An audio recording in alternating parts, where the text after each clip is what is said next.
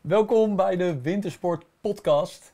En in deze aflevering gaan we in op de geschiedenis van een gebied waar heel veel Nederlanders wel eens geweest zijn. Het is misschien wel het meest populaire gebied in de Franse Alpen, namelijk Val Thorens. En Roel, we hoeven voor de geschiedenis van Val Thorens nou ook niet even terug volgens mij.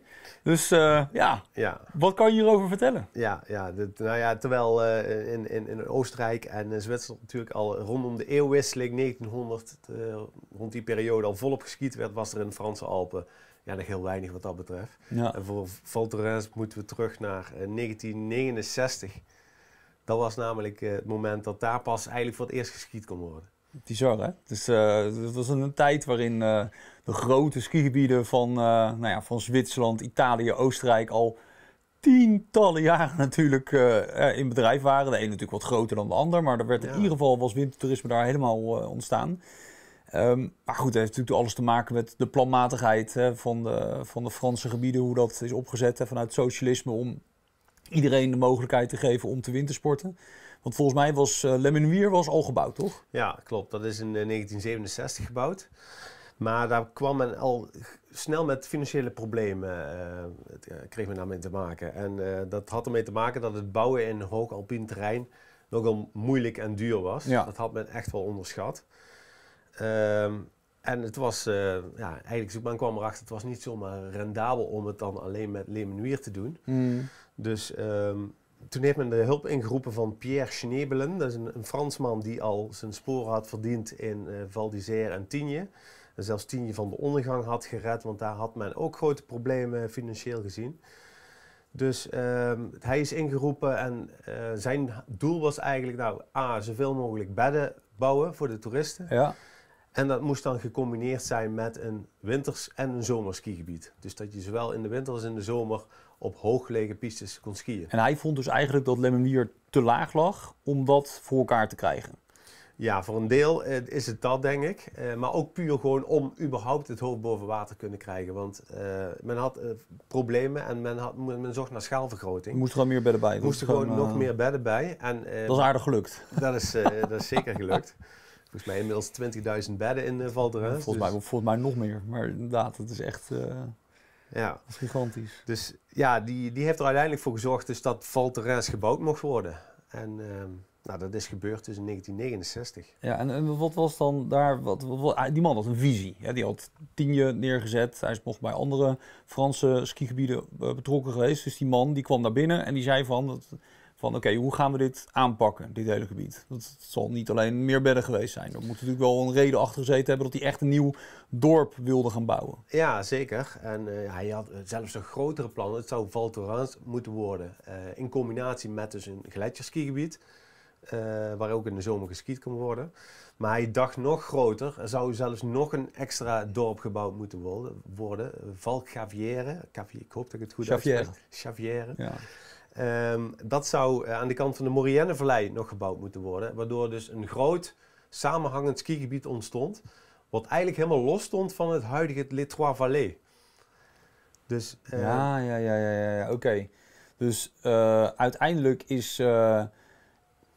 dus de bedoeling was dat Valto samen met dat uh, Valcha, om het maar zo te noemen, van Xavier een apart skigebied zou worden. Ja. Met zowel winter- als zomerbedrijf. En het was helemaal niet in de, het lag helemaal niet in de oorspronkelijke planning om dat te verbinden met uh, Lemonwier of met nee, andere... dat is, dat is eigenlijk pas veel, veel later is dat gekomen. Kijk, want de, tot Val Xavier, de, de Xavier, dat is een gletsjer in, in die regio, hè, waar, uh, ja. Uh, waar, ja, waar Valto natuurlijk ook in ligt. Ja, dat klopt. Het is een hoog alpien gebied.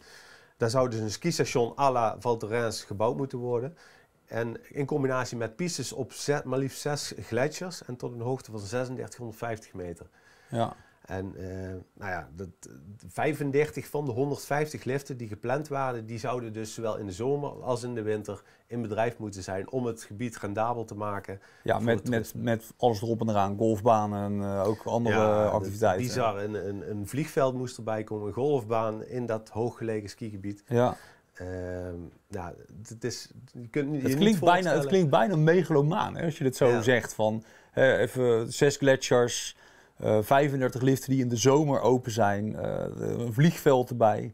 Ja. Eigenlijk is het, weet je, als je het zo zegt, dan is het eigenlijk niet heel gek dat het, dat het, niet, het niet gehaald heeft. Nee, nee. En ja, het is ook sowieso heel opvallend. Ik denk dat heel veel mensen nog nooit van dit project gehoord hebben. Maar dit was dus echt wel eh, het doel van, van eh, de bouw van Val Thorens toen. Ja, Eh, maar waarom is het dan niet doorgegaan? Want, dat- want hij, die man die had wel zijn sporen verdiend. Dus ergens is er eh, een kink in de kabel Ja, gekomen. nou, dat was in eerste instantie nog niet de enige klimaatverandering, maar dat had te maken met eh, de oprichting van het Nationaal Park van Oase. Dat was in 1963 opgericht ter bescherming van het, het alpine Ja. hooggebergte. Eh, Dat ging niet helemaal samen met de aanleg van een vliegveld op 3000 meter, begrijp ik. Nee, nee, Nee. precies. Sterker nog, eh Val Chavière dat zou precies in het hart van dat Nationaal Park terechtkomen. Ja. Waardoor eh, dat het hele project eigenlijk nooit is doorgegaan. Ja, ja, ja, ja. ja. Het is wel zo dat eh, uiteindelijk ging er natuurlijk een hoop lobbywerk aan, eh, aan vooraf. En de burgemeester van Saint-Martin-de-Belleville, het dorpje wat in, het begin van het dal ligt. Ja, dat is ook de gemeente volgens mij. Hè? Dat is de gemeente Bellevue. En dat, dat is één, één, één, ja, één gemeente. Dus ja, inderdaad. Valto zou gebouwd worden in de gemeente Saint-Martin de Bellevue. Ja, dat is ook het enige oorspronkelijke dorpje Ja. wat, wat je hebt. Precies. Dus eh, die is zich vervolgens met de president van Frankrijk gaan eh, bemoeien om, om toch op een of andere manier iets voor elkaar te krijgen. En Georges Pompidou was dat in die tijd, hè? Ja, Ja. En ja, toen hebben ze dus toch in ieder geval toestemming gekregen om vooral terreins in ieder geval te bouwen. En op de Chavière, Chavière Gletscher, daar mochten twee sleepliften komen en meer niet. Dus eigenlijk als je hem even... Als die relatie tussen die burgemeester van Saint-Martin de Bellevue en de president van Frankrijk er niet geweest was, was Valto ook helemaal niet gebouwd. Ja, misschien niet. Of eh, misschien zou Val, uh, Lemenuier een stuk groter zijn geworden en dan Ja. misschien een paar liften richting Val Thorens. Niet- Wie zal het zeggen? Grappig. Maar ja, goed, er mocht dus gebouwd worden. Dus Ja. uiteindelijk, je begon er al mee, 1969, liften gaan open. Ja, nou, de eerst werd de weg dus doorgetrokken vanuit Lemenuier eh, tot op 2300 meter. En eh, uiteindelijk gingen de eerste liften, of het zijn er maar één of twee geloof ik, in 1971 open. Maar toen waren er nog geen andere voorzieningen, dus men kon alleen maar het dal in, Ja, eh, daar gaan skiën en vervolgens weer het dal uit. Eh, ja, pas enkele jaren daarna zijn alle voorzieningen erbij gekomen. Een skischool, eh, accommodaties, noem maar op. En, eh, dus dat is, dat is nog relatief langzaam gegaan. Want eigenlijk begin van de jaren 70 woonden er nog steeds maar vier of vijf families op dat gebied waar nu eh Val Thorens ligt. Die Hm. daar een paar hotels en Grappig, bedrijfjes hadden. en die, ja, die, ik die zijn nu zeg maar de spekkoper van het hele verhaal waarschijnlijk. Dat eh, zit er wel in. Ze Neem zijn nog aan. steeds heel actief eh, in, in die gemeenschap. En volgens mij hebben ze heel, een groot deel van het vastgoed. Ja, ja. En ergens is het ook wel misschien wel terecht als je toen in die tijd je nek op die manier hebt uitgestoken. Dan, eh, hè, dan verdien je het misschien ook wel om de vruchten daarvan eh, te plukken. Dat is natuurlijk wel een succesverhaal geworden uiteindelijk. Dus, maar goed, er wonen nu natuurlijk nu ook niet heel veel mensen. Hè. Valto is natuurlijk nu nog steeds een dorp met, ja, weet je, eh, Ja. er wonen misschien, eh, hoeveel mensen wonen daar het jaar rond? Een paar honderd misschien paar honderd, maximaal? denk ik, max, ja. Ja. Want het meeste is gewoon dicht. En ze proberen nu wel iets meer in de zomer te doen. Maar dat is allemaal natuurlijk minimaal op die hoogte. Ja. Nou ja, goed. Op een gegeven moment eh, werd de liftmaatschappij opgericht. Dan gingen ze het wat, wat groter aanpakken. Ja, ja. Ze, ze dachten wel meteen heel zo, eff- zo efficiënt mogelijk. De liften moesten snel en zo lang mogelijk zijn. Dat mensen gewoon efficiënt naar boven gebracht eh, werden. Ja. En dat is ook eh, redelijk goed gelukt. Eh, de Piclet Gletscher die is ontsloten. Er was toen meteen een gigantisch hoogteverschil voor die tijd voor een gletsjer. 500 meter met twee zwarte en twee rode pistes. Wat eigenlijk best wel veel uitdaging is ten opzichte van allerlei andere zomer- of, gletsjerskigebieden. Ja. En ja, toen is natuurlijk ook de verbinding met Lemenuier gemaakt, het, het skistation wat er al was. Ja. En in de jaren 70 hebben ze de verbinding met Meribel eh, gerealiseerd. En dat is dan eigenlijk ook het begin geweest van de ontwikkeling van Les Trois Vallées Ja, als skigebied. Ja. als, als skigebied. Ja. Ja. ja, grappig. Want uiteindelijk, eh, ik denk dat iedereen die in Valto wel eens geweest is, natuurlijk die, die Péclet-gondel herkent. Hè. En ik kan me nog herinneren dat eh, mijn eerste keer Valto was, denk ik, eind jaren 80. Dat eh, eind jaren 80, begin jaren 90, dat dat ook echt een... Dat waren revolutionaire liften, waren dat, hè, op, op twee eh, kabels. Dus daar waren ze echt eh, bijna on-Frans hun tijd echt ver vooruit. En ik vind dat je dat nog steeds wel terugziet in hoe ehm, vooruitstrevend Val Thorens als, ski, als skigebied is. Met eh, modernisering van liften, maar ook het aanbieden van, van andere activiteiten en dergelijke. Dan maken ze echt, is het bijna een on-Frans skigebied. Als je het vergelijkt met ja, heel veel andere Franse skigebieden. Misschien heeft het dan mee te maken dat ook uh, in tegenstelling tot veel andere skigebieden in Frankrijk een groot deel van de gasten buitenlander is. Ja. Dat die misschien ook wat meer druk of andere wensen hebben dan een, uh, ja, de gemiddelde Fransman. Ja, wellicht. Hey, en even, uh, hebben de, de winterspelen nog, want in in 1992 waren de windspelen in Albertville, hè, dus dat is relatief dichtbij bij Volto. Heeft dat nog invloed gehad op, op ja. vaak geeft dat toch een boost aan een bepaalde regio? Ja, nou, dat, dat uh, toen kwam eigenlijk Val Chavière opnieuw in beeld. Want uh, de omliggende gemeentes die zagen, die zagen weer kansen. um, vooral, dat nationale park lag er nog steeds, maar dat werd eventjes Dat lag er nog steeds, inderdaad. maar vooral aan de kant van de Maurienne-vallei, die hadden op dat moment geen verbinding met het skigebied zagen ze kansen. Uh, sterker nog, 25 van de 26 gemeentes die stemden toen voor een plan om daar opnieuw toch die gletsjer te gaan ontsluiten. Uh, maar er is vervolgens toch een kink in de kabel gekomen, omdat uh, ja, een hoop actievoerders zijn toen de berg opgekomen. En die hebben toen een, een, een groot uh, ja, visueel nee gevormd. Dan kon je vanuit de helikopter kon je dat zien. Ja. Werd er weergegeven in de sneeuw om gewoon dat project definitief uh, af te blazen. Want ja. inmiddels was uh, klimaatverandering dus wel echt een, een issue. Sterker nog, de Chavière sleepliften die gebouwd mochten worden, die waren enkele jaren daarvoor afgebroken. Puur vanwege het feit dus dat... die waren al weg. Die waren al weg om, ja, ja, omdat de gletsjer aan het smelten was. Bizar dat dat dan toch nog voorgesteld werd hè, en ingestemd werd. Ja, van, we hebben net van alles weggehaald omdat de gletsjer weg is. Nu gaan we weer alles opnieuw neerzetten. Ja.